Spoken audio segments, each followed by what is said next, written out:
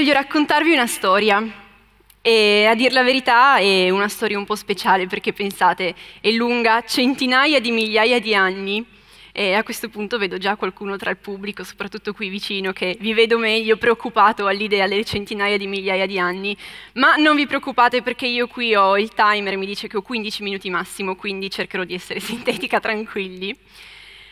Oltre a essere così lunga, però, è anche nata, ha avuto origine su quello che una persona molto più saggia di me, Carl Sagan, noto astrofisico statunitense, una volta definì con una frase che a mio parere è davvero molto poetica, definì come un minuscolo granello di polvere sospeso in un raggio di sole.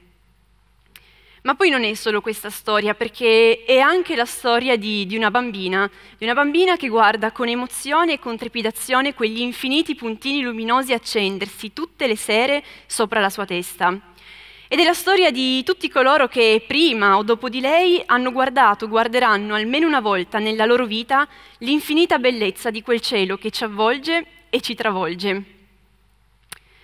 A questo punto però ho due notizie, una buona e l'altra cattiva.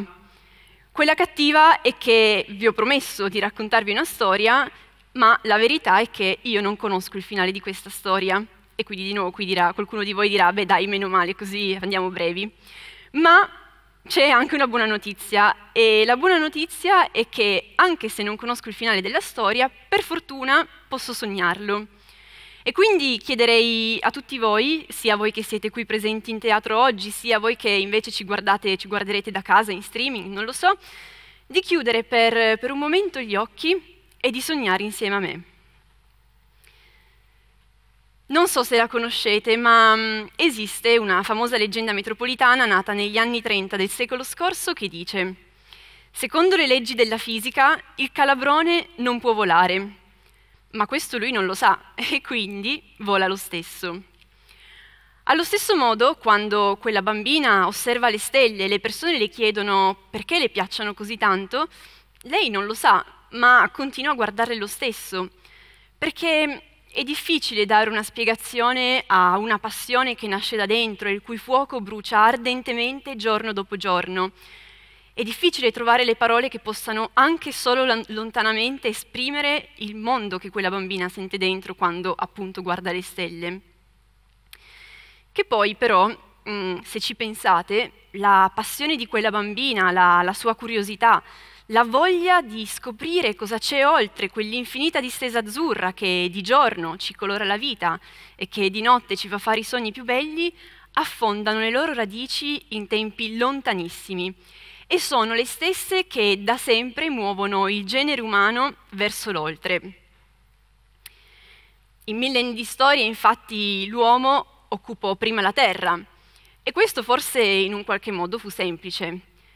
Poi, vincendo le paure, conquistò anche i mari, spingendosi per la prima volta oltre le mitiche colonne d'Ercole, che rappresentavano un po' quell'invalicabile confine del mondo, mondo che poi in realtà lì non finiva, ma continuava e continuava, pensate un po', per lanciare nuove sfide. Sfide che appunto furono vinte da grandi esploratori, Colombo, Vespucci, Magellano. In generale potremmo dire tutte quelle persone che videro con i loro occhi i cieli nuovi di terre nuove. A questo punto, dopo aver parlato di terra, dopo aver parlato di mare, è lecito chiedersi, non c'è nient'altro da conquistare? Beh, rimaneva l'aria, il sogno del volo, il più grande, il più pauroso e il più sfidante. Immaginate di essere come gli uccelli, di poter toccare con mano le nuvole, di sfidare gli dei che avevano casa proprio lì, in quel cielo. Ecco qual era l'ardimento più grande, la sfida più grande per l'uomo di quel tempo. Vi chiederete, impossibile? Beh, direi che per nostra fortuna nulla o quasi è impossibile alla determinazione della volontà umana che inventò le macchine volanti e occupò come gli uccelli l'aria. Ma l'aria non era ancora tutto, perché fuori c'era l'infinito altrove dello spazio, la vera frontiera, la pagina bianca di una storia che sarà potenzialmente infinita. Oggi dopo circa 60 anni, forse anche qualcosina di più, direi dal periodo della corsa allo spazio durante la guerra fredda tra Stati Uniti e Unione Sovietica, oggi viviamo finalmente una nuova luce per l'esplorazione dello spazio. Siamo all'alba di una nuova luce per l'esplorazione spaziale. Una luce che ci, ci, consentirà di andare più lontano di quanto siamo mai stati o di quanto abbiamo mai creduto possibile. Una luce che per noi è importante perché porta con sé tutti i successi, tutti i fallimenti, tutti gli sforzi e tutte le vittorie che in millenni di storia abbiamo collezionato come genere umano. Che alla fine, se ci pensate, non è altro che una specie qualunque, nata e sviluppatasi, per citare nuovamente Carl Sagan, che come avete capito mi piace molto, nata e sviluppatasi su un piccolo puntino blu, che da miliardi di anni balla un armonioso valzer attorno al Sole. Una specie qualunque, questo è vero, ma ha da sempre mosso i propri passi come spinta da una naturale curiosità verso tutto ciò che è ignoto. Una curiosità non da poco, perché ci ha permesso di inventare la scrittura, di scoprire la penicillina e, in ultimo, di andare nello spazio. Una curiosità che alla fine rende la nostra specie una specie unica e che io spero, mi auguro per davvero possa non abbandonarci mai.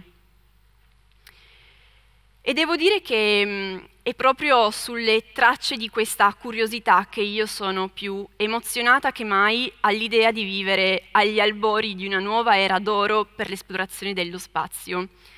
Penso che in generale sia proprio questo concetto di alba ad emozionarmi, ma in fondo a chi di noi non emoziona un'alba? Pensate, quel momento in cui tutto inizia e non sappiamo ancora che cosa sarà. Magari quel qualcosa deve ancora nascere, ma ha in potenza la possibilità di essere tutto. Ecco, io questo lo trovo veramente molto eccezionale. Un po' come l'alba di ogni nuovo giorno alla fine, no? Quel momento appunto in cui tutto inizia, in cui tutto può ancora cambiare. Quell'attimo sospeso in cui solo noi effettivamente siamo i padroni di noi stessi e del nostro tempo e in cui solo noi possiamo scegliere di prendere in mano le redini della nostra vita. E quindi è proprio sulle tracce di quest'alba che posso vedere metaforicamente come momento in cui io decido di prendere in mano le redini della mia vita che a 22 anni ho un sogno, studio fisica all'Università di Torino per cercare di inseguire questo sogno. E il mio sogno qual è? Beh, il mio sogno è quello di poter partecipare anche io in un qualche modo a quello che sarà il progresso scientifico e tecnologico del futuro. Che poi non mi piace mai parlare solo di progetto scientifico e tecnologico perché sembra sempre qualcosa di un po' fine a se stesso, ma in realtà io sono fortemente convinta che scienza e tecnologia in realtà non siano altro che progresso umano, perché alla fine siamo noi esseri umani a fare quel progresso. E quindi ecco che la scienza e la, tecnologia ci consentono di progredire in avanti come specie. Devo dire che poi io sono sempre stata una persona che non ha mai amato partecipare passivamente, diciamo, alle cose che le accadono attorno, sempre preferito in un qualche modo mettere le mani in pasta, come si suol dire. Ed è così che appunto tre anni fa ho partecipato insieme a un amico a un concorso indetto dall'Agenzia Spaziale Europea e devo dire che ho partecipato a questo concorso ma in realtà senza nessuna aspettativa. Il bando era aperto da maggio e io quando l'ho scoperto era luglio, luglio, luglio 2018. Era metà luglio, mancavano due settimane alla scadenza. Io ho chiamato questo mio amico e gli ho detto, senti, che ne dici, partecipiamo, tanto non abbiamo assolutamente nulla da perdere, ci impegniamo, ci divertiamo, impariamo cose nuove, scopriamo cose nuove impariamo, che alla fine è la cosa più importante, soprattutto penso quando si è giovani, ma poi in generale nella vita bisogna non smettere mai di imparare. Ecco, questo mio amico mi ha detto, ma sì, dai, proviamo.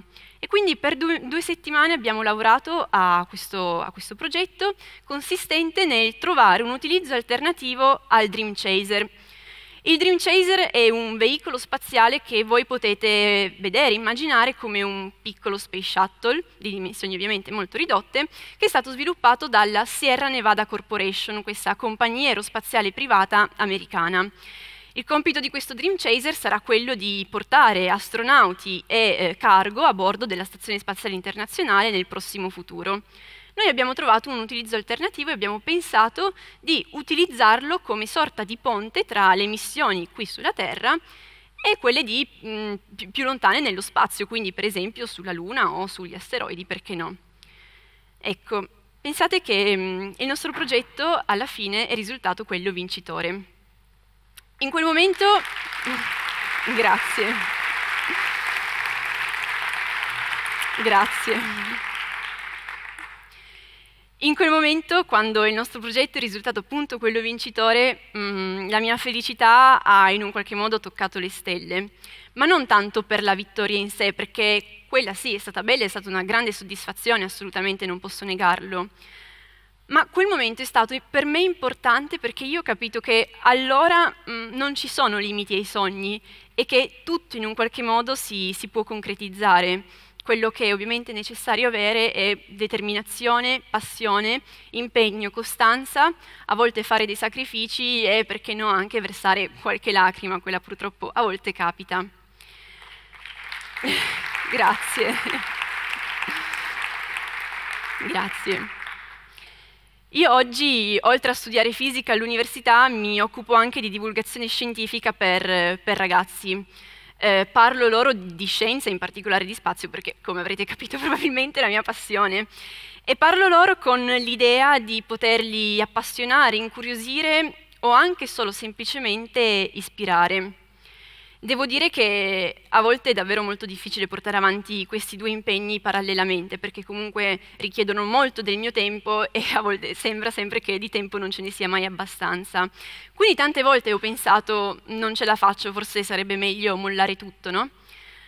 Ma poi ogni volta che un bambino mi si è avvicinato e mi ha detto da grande io voglio essere come te, ho capito che allora quello è il mio posto e che io non potrei farne a meno perché alla fine questa è la vita che ho scelto. Chiaramente oggi non, so, non posso ancora sapere dove mi porterà la vita o di fronte a quali sfide mi metterà davanti. Non so cosa farò o dove sarò domani, tra una settimana o tra tre anni. Ma quello che so con estrema certezza è che ho fame di futuro e non ho alcuna voglia di accontentarmi.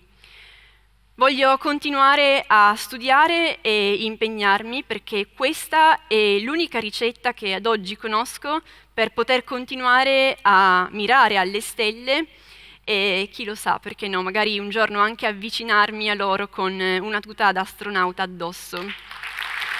Grazie. Grazie. Grazie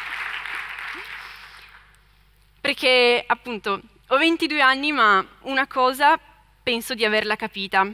Nella vita in generale bisogna sempre puntare all'impossibile per poter toccare, anche solo metaforicamente, le stelle con un dito. Grazie. Grazie mille. Grazie.